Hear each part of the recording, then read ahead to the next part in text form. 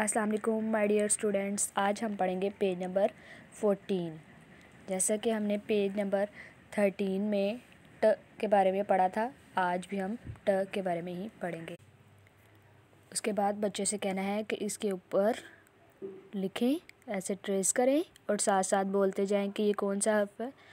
ट ट के ऊपर टोपी, ऐसे करके ट ट के ऊपर टोपी साथ साथ बोलते जाएँ।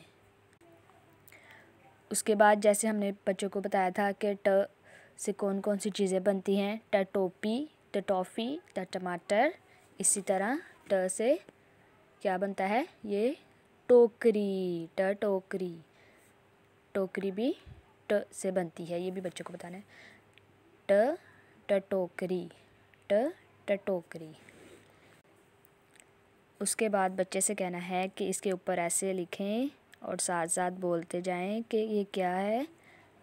ट ट के ऊपर टोपी। ट ट के ऊपर टोपी। बच्चे से कहना है कि इसे प्यारा प्यारा लिखें। इसी तरह ये भी ट ट साथ साथ बोलते जाएँ ट के ऊपर टोपी। ओके अल्लाह हाफिज़।